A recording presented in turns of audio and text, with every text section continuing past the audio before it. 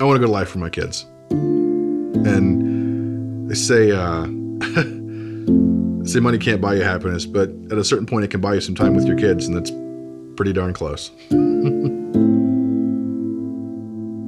my grandparents were survivors of the Great Depression, and it was always communicated to me to consider work a blessing.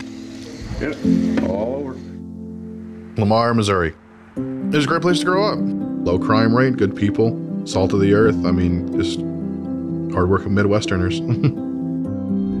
Here's my little house I used to live in right there. 2542. A lot of the businesses in town closed down in the years since then. It started to kind of have the life drained out of it a little bit.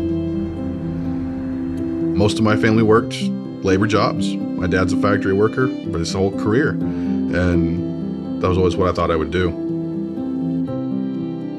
I was homeschooled my entire way through school. I never went to public school a day in my life. My mom was my teacher. I basically dropped out at 16. I started my first job the day after my 16th birthday because we wanted to make a living. I ended up in uh, a manufacturing position, slicing deli meat, processing deli meat. The facility was in a man made cave underground here in Missouri. But it was a job, and a lot of people were losing their jobs and losing their homes and losing everything else. I felt lucky to have a job at all. I felt lucky to be working. It was really hard work. I, I mean, he dropped like 30 some odd pounds in a month or two. I was donating my plasma. That was the only way for a lot of years that I could buy groceries. The thing that was the most sobering was probably having my son and realizing that I had to have more of a structured plan in place. At some point, I knew there had to be something I could learn to do to provide a better future.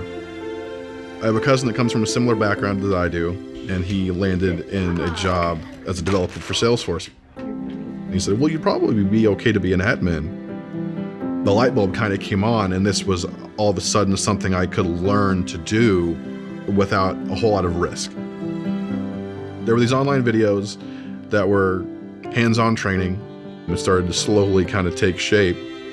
Once the pieces all clicked, then then then the bulb was on nice and bright. I had some really great advice to get connected with the local user groups. So I put on the only suit that I own and I went to user group. Zac is hard to miss. You're gonna not forget Zac coming into a room. What I noticed first was somebody, in, without even saying anything, said, "I need a place. I need help. I need, I need a resource." Having that mentorship, uh, it was very foreign, but very extraordinary at the same time. About four months later, a lady from my user group said, Hey, my admin just put in his two weeks' notice. You're certified, right? And I'm like, Yeah, I'm absolutely certified. And I had an interview, the biggest interview of my life. I was 30 years old and had never done a real job interview. Yes, I was scared to death. I told my current boss, I looked him square in the face and I said, You will not interview anyone else for this position that is nearly as excited about this as I am. He probably didn't know it at the time, but he was he was an easy choice. The biggest impact is his passion for Salesforce and educating others. He's really built a name for himself. An account page in Salesforce. It was remarkable. It was from the factory floor to dealing with some of the most advanced technology in the world. I made it. I did it. Turn the page. Let me turn the page.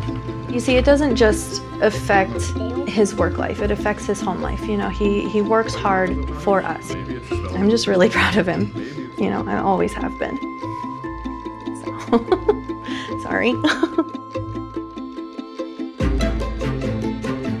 My American dream is providing for my family and having enough time to spend with them.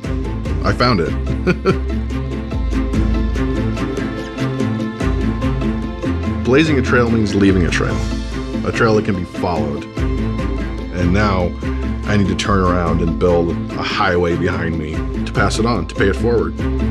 When I see people in less than ideal situations, I want to tell people on the street the jobs are out there, the security for your family it can be can be had. Trailhead is the front door of the new economy to change your life. it's all free, it's all online, it's all accessible.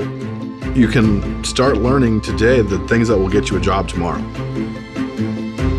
I'm living proof that there's a place for anyone in the new economy. You just have to reach for it. I'm Zac Otero, and I'm a trailblazer.